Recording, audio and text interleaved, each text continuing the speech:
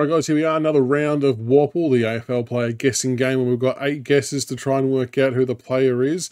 Let's see how we go with today's guess. We'll have a look at the silhouette first to see if that gives us any clue whatsoever. Uh, not, not really. Oh, actually, kind of looks a little bit like Tom Hawkins, doesn't it, with the ears in there. Let's let's try Tom Hawkins straight off the bat. See how we go there. Okay, so he's in Victoria, not a key Ford, and shares either the blue or the white. Okay, uh, let's try. Oh, so he's not a Ford though. Let's try Patrick Cripps, see if the blue matches. No, okay, so blue is the colour of the team in Victoria. Who else has got blue? Um, Melbourne would be another one. Not a midfielder either. What about Steven May? No, okay. Oh, is the number nine? Interesting.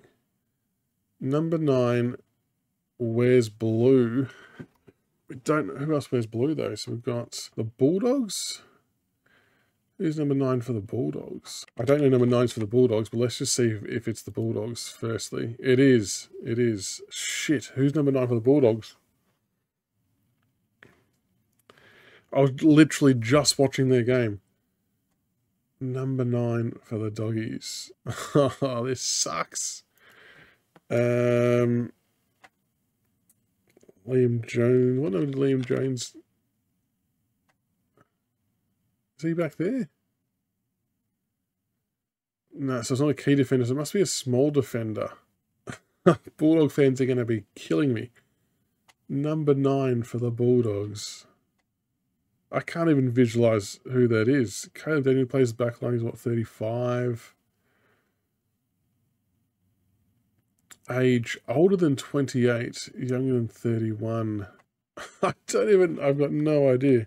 What number is Taylor Duryea? I think he's like 15, isn't he? Yeah, 15. Shit.